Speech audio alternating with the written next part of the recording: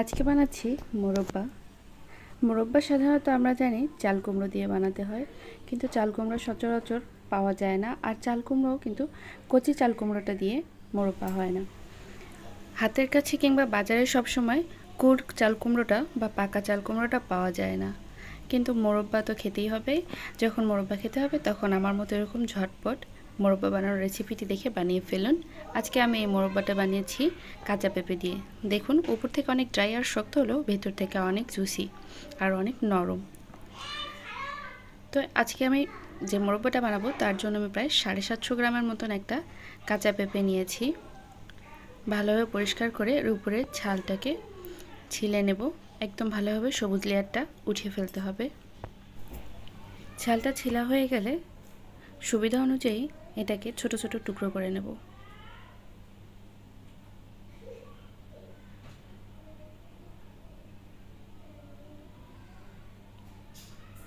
প্রথমে দুই ভাগ করে, তারপর চার ভাগ করে নিয়েছি।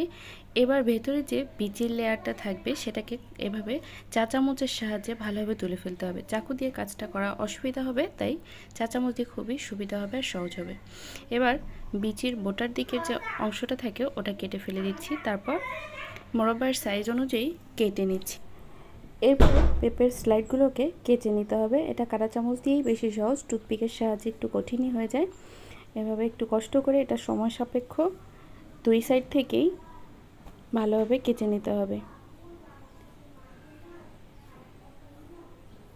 এই কাজটা খুবই ভালোভাবে করতে হবে। মোরব্বাতে এটা খুবই গুরুত্বপূর্ণ। কেচে নিতে হাতে ব্যথা লাগার সুবিধার্থে এভাবে কিচেন টাওয়াল বা শক্ত কোনো কাপড় চামচের গোড়ায় পেঁচিয়ে ধরে কেসলে খুবই সহজে হবে। হাতে ব্যথাও লাগবে না, খুব দ্রুত কাজটা হয়ে যাবে। আমি এভাবে আমার সবগুলো পেপার স্লাইড খুব ভালোভাবে কেচে নিয়েছি।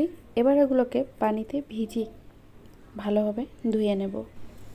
আমি ভালোভাবে কেচে নিয়েছি, তারপর ধুয়েও নিয়েছি। এবার এক চামচ চুন দিচ্ছি, আর অল্প একটু পানি দিয়ে ভালোভাবে চুনটাকে পানির সাথে মিশিয়ে নিচ্ছি। পেঁপেটা যদি সাইজে পাঁচশো গ্রামের চেয়ে অল্প কিছু বেশি হয়, তাহলে এক চামচ হলেই হবে। যদি আপনার পেঁপেটা এক কেজি পরিমাণ হয়ে যায়, তাহলে দেড় চামচ অথবা দুই চামচ চুন দিয়ে ভালোভাবে ডুবানো পানিতে সারা রাত ভিজিয়ে রাখতে হবে। ভালো হয় সারা রাত রাখলে যদি সম্ভব হয়, তাহলে পাঁচ ছয় ঘণ্টা রাখলেও চলবে। তারপর সারা রাত পরে আমি এগুলোকে খুব ভালোভাবে ধুয়ে নিচ্ছি।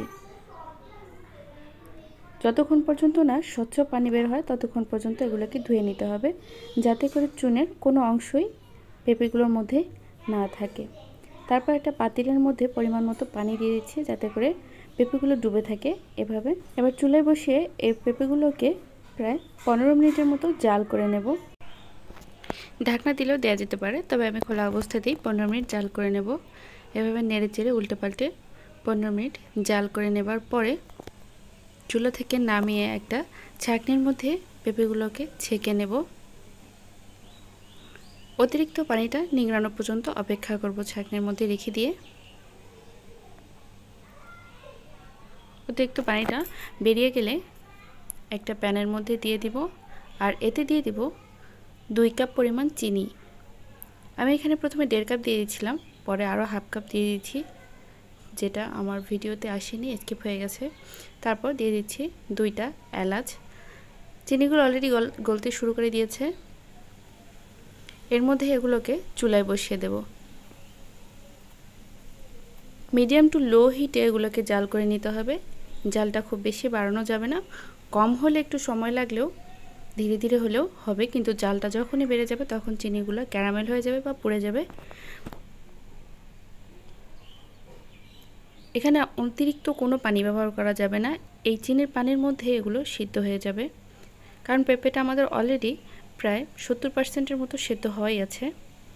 এই চিনির শিরাটার মধ্যে এগুলোকে নেড়ে চেড়ে বারবার জাল করে নিতে হবে। যতক্ষণ পর্যন্ত না শিরাটা ভারী হয়ে আসে আর পেঁপেটা একদম স্বচ্ছ হয়ে আসে, ততক্ষণ পর্যন্ত।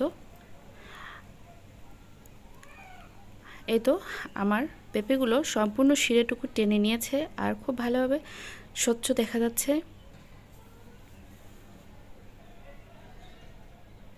একদম পারফেক্টভাবে হয়ে গেছে। আমি এবার এগুলোকে নামিয়ে ফেলব। নামিয়ে একটা স্টেনারে করে অথবা একটা জালিদার কোনো কিছুর মধ্যে রেখে দিতে পারেন। এভাবে এভাবে রেখে দিতে পারেন, যদি আপনার পেঁপেটার মধ্যে অতিরিক্ত শিরা থেকে যায়, তাহলে শিরাটা গড়িয়ে নিচে পড়ে যাবে আর খুব ভালোভাবে ড্রাই হয়ে শক্ত হয়ে যাবে, যেমনটা মোরব্বার হয়ে থাকে। ক্যামেরার কারণে মনে হচ্ছে আমার মোরব্বাগুলোর উপরের দিক থেকে একটু ভেজা ভেজা আছে, আসলে এটা আলুর প্রতিফলনের কারণে হচ্ছে আমার উপর থেকে খুব ভালোভাবে শুকিয়ে গেছে। এভাবে বাতাসে সারা রাত রেখে দেওয়ার পরে আরও ভালোভাবে শুকিয়ে যাবে। চাল কুমড়ো ছাড়াই কাঁচা পেঁপে দিয়ে এভাবে মোরব্বা বানিয়ে এয়ারটাইট বক্সে ভরে নর্মাল ফ্রিজে রেখে ছয় মাসের মতন সংরক্ষণ করে খেতে পারবেন। এই কাঁচা পেঁপের মোরব্বাটাও চাল কুমড়া মোরব্বার মতো আপনি যে কোনো খাবার ডেকোরেশনে কিংবা স্বাদ বাড়াতেও ব্যবহার করতে পারবেন। তো কেমন লাগল আজকে আমার এই কাঁচা পেঁপের মোরব্বা রেসিপিটি যদি ভালো লেগে থাকে তাহলে অবশ্যই লাইক কমেন্ট করে জানাবেন এবং আমার চ্যানেলটি এবং ফেসবুক পেজটির সাথে থাকবেন। ধন্যবাদ। আল্লাহ হাফেজ।